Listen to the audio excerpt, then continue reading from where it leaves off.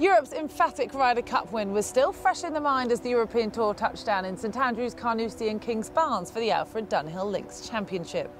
Everyone was full of praise for the job done by triumphant captain Paul McGinley, but much of the conversation centred around who would be his and Tom Watson's successors at the 2016 clash at Hazeltine National.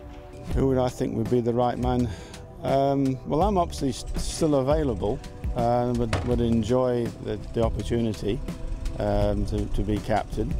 And other than that, I think you've got Darren Clarke, uh, Jimenez, but I think Jimenez might be a little bit restricted because of his language barrier.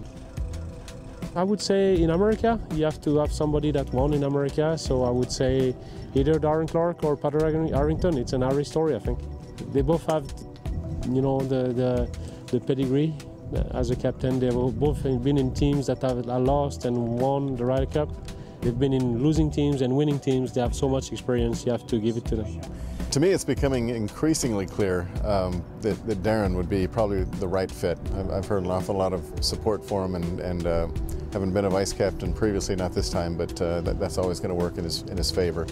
And his popularity in, in America. Of course, we're half Irish over there, so uh, anyone of Irish blood will, will do all of the more experienced guys out here, they, they deserve their, their chance at one point, and uh, whether it's going to be in two years' time for Padraig or, or Darren, uh, the, the, day will come for them anyway.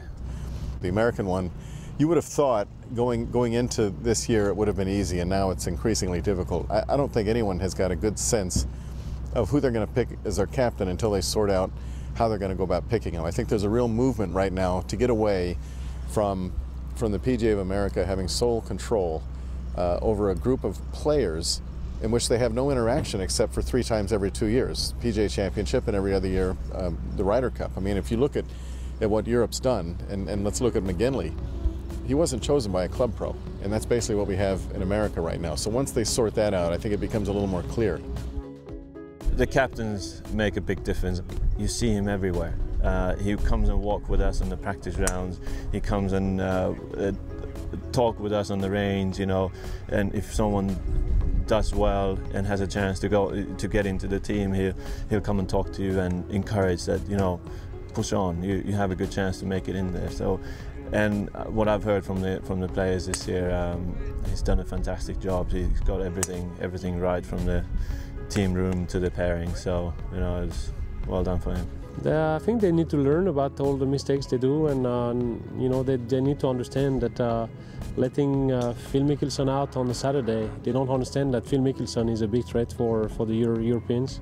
When you look at what Phil did, uh, he played pretty good in that Ryder Cup. He won matches, and uh, it just was strange not to play him on, at all on Saturday. You know, he, you could rest him if you want to rest him. Just talk to him before the Ryder Cup look, Phil, how many matches you want to play? Because he's one of your leaders, and if your leaders don't feel comfortable, then you have a you have a problem in the locker already.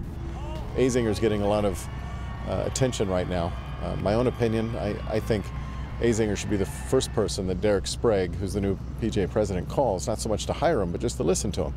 Because his ideas are the ones that work. His ideas, I think, made Europe nervous. Because all of a sudden, America looked like Europe uh, as it relates to the Ryder Cup. They, they had a concept of, of not me, but we. Uh, it works brilliantly for, for Europe, and, and it only worked that one year um, at Valhalla. And frankly, Davis had a lot of it too at Medinah.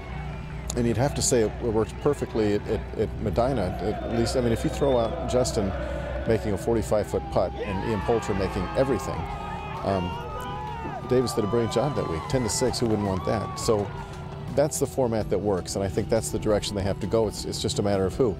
Steve Stricker was brought up to me about three months ago. Steve would work just because he's smarter than, than, than he looks. Um, that didn't come out the right way. Steve doesn't watch this, does he? I think I think Steve is, the, is regarded as the nicest guy, but he's but he's got some he's got some spirit to him, uh, which would help, and he and he's got total uh, involvement with the players. Fred Couples would be ideal, but you have to wonder if Fred's time hasn't passed. They blew it by not having Fred in 2006. Zinger coming back, I, I don't think that would be good for Zinger. Why in the world would you want to damage what is a reputation that is getting enhanced with every American loss? All you can do is go down. Um, so I'm not sure I'd bring Zinger back. I'd just bring his ideas back.